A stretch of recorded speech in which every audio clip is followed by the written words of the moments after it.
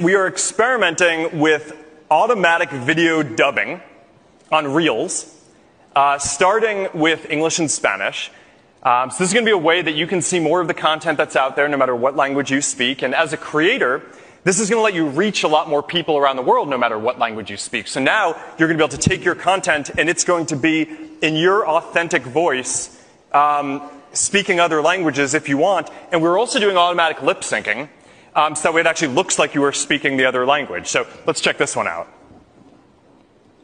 de coco, banana y dulce de leche. Esta receta fue una de las primeras que subí a las redes. Hace poquito la volví a descubrir y le hice un par de modificaciones para que sea aún más deliciosa. With coconut, banana and dulce de leche. This recipe was one of the first ones I uploaded to social media. A little while ago I rediscovered it and made a couple of modifications to make it even more delicious.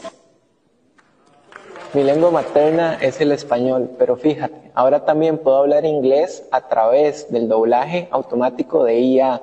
Mis labios se sincronizan con la traducción y todo. Es increíble. Qué cool poder conectar con personas y audiencias que hablen inglés.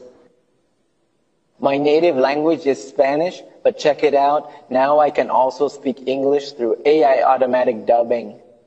My lips are synchronized with the translation and everything.